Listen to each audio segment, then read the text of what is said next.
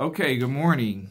Today is Friday, April 17th, and uh, my name is Rocky Walker. I am a chaplain here at Mount Sinai Hospital in New York City. Uh, my normal role is I'm the chaplain of the Heart Hospital. Uh, we've since uh, those most of my units have been converted to COVID units, um, so I'm I'm a COVID chaplain. Um, today I'm going to walk you through sort of my day. I'm going to let you tag along my day and my days as a chaplain in the hospital are very different than they used to be. The job of a chaplain is to provide emotional and spiritual support to the patients, to the families, and to the staff. That's what I do on a normal day. Now that we're in COVID, uh, that's changed quite a bit. It's changed, number one, because family members aren't here. That's the first change. It's changed for me, number two, because in my units, which are mainly the ICUs, most of my patients are so sick, they're intubated, and they're totally unable to speak, or even most of them aren't even conscious. So that's another really big change and a challenge to what I do every day. And the third big change is the amount of stress that's on the staff members that I take care of. And this is why. This is the biggest reason why. Normally we're taking care of our patients and our heart goes out to them and but it's very distant. There's a separation. This patient is suffering from something that really is not a threat to me personally, and now I can be empathetic, but I don't have to really worry about this. Well, now the very threat that is taking the lives of our patients, we're vulnerable to that very thing. Not only are we vulnerable to it, but we're also vulnerable to uh, taking that home and infecting our family. So the level of stress for the staff is very, very high. So those are the things that are very different uh, about being a chaplain in COVID pandemic versus being a chaplain uh, in normal circumstances. And uh, it's a lot of stress. There's also a lot of really, really wonderful things happening. I mean, in the worst of times, I, I'm seeing the very best of humanity. And so those ups and downs, emotional ups and downs for me, they're very, very, they take a toll on me. By the end of the day, I'm exhausted.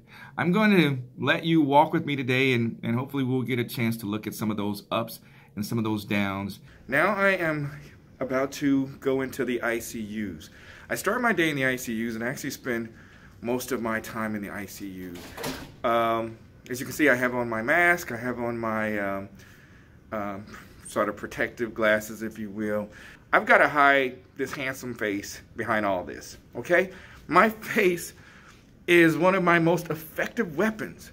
I use my face to disarm a hostile patient. I use my face to uh, make people feel comfortable, uh, to show absolute genuine concern and empathy. Um, I use my face to do a lot of things and now it's totally covered. Um, but that's part of uh, what we have to go through here. And the ICUs that I'm going into, this particular ICU is the first ICU that uh, house COVID patients. And the challenge again with this particular ICU is most of the patients in this ICU aren't able to communicate. They aren't able to talk. So we are at a place where we have to learn everything about them from their family members. And the other thing that's really difficult and challenging about this, this is, remember, this is, I'm the heart hospital chaplain, and our heart hospital patients, it's sort of like a revolving door. We know them, we work with them for years, we know their history. Um, these are brand new people off the street we don't know anything about. I gotta tell you, when this unit, and again, this was the first unit to go COVID, to walk on here then, it was terrifying. I mean, it was so scary because we didn't know anything about it. And it just felt like I was going to catch it just by walking on the unit. But uh, now it's, we don't even think twice. And you see, all the doors are shut. Okay? That's very different. And then there's still so much um, medical equipment outside the doors. That helps to eliminate the number of times or limit the number of times that anybody has to actually go into the rooms. But this is a very good unit and we're doing amazing work. You might see writing on the door. That's another thing that we do. We write certain statistics, medical statistics on the doors so that those who are coming by and rounding, they're able to get that information because sometimes it's hard to see the monitors from outside. And again, the key is to limit the amount of times that you go into the rooms. We're only going in when necessary. And a lot of the rooms on this ICU have been doubled up, meaning there's double beds in there. Unheard of.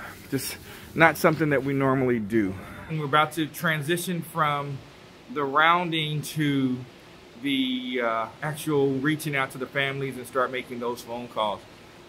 But before we do that, um, just kind of want to say what I'm observing.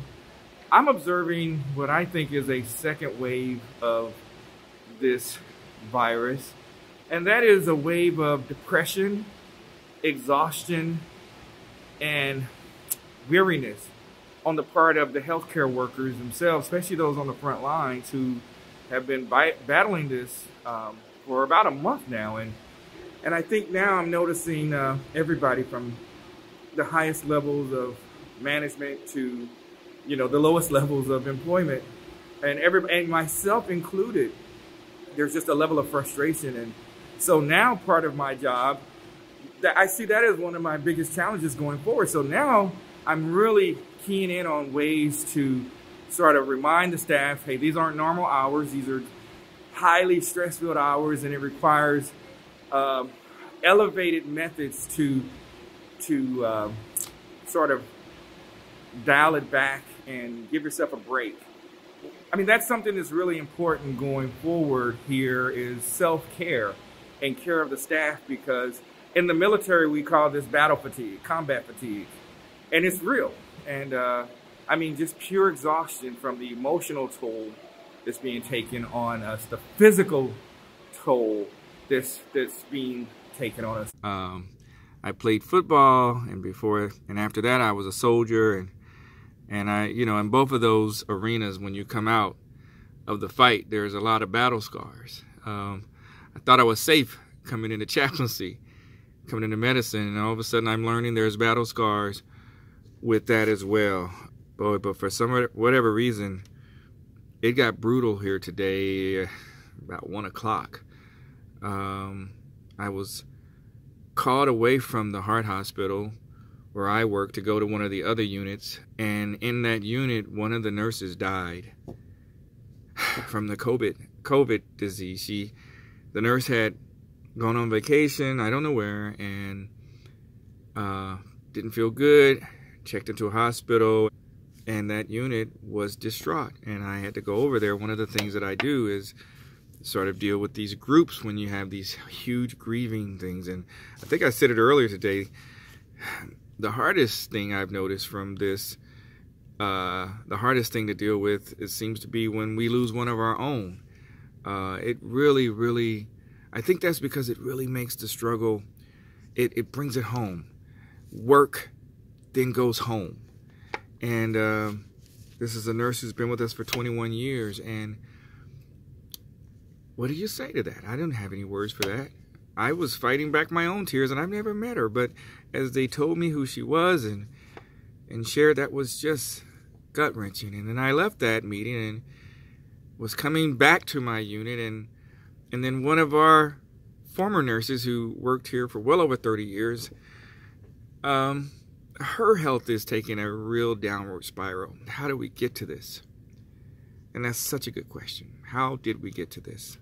Uh, I don't know how we got to this, but I do know what we've done in the middle of this, and the work has been amazing. And what I shared with those, those I share with everybody, everybody that I talk to, because it's the truth. It's so easy to share this, how strong they are, and how how I see God and their reaction, their response, their courage, their faith, their love for their loved ones, and in each case, the loved ones, they're so blessed to have such strong people advocating for them, such wise and considerate, graceful people advocating for them. Okay, uh, it's the end of the day. I am um, starting my walk home, my walk out the door. And um, it's been quite a day, it's been quite a week, it's been quite a month. You can see in the background uh, more of these beds, these empty beds that uh, so far my prayers have been answered, not being used. We are doing amazing work here at Mount Sinai Hospital. Uh, we've at this point discharged, successfully treated and discharged over 2,400 COVID patients. That number grows every day.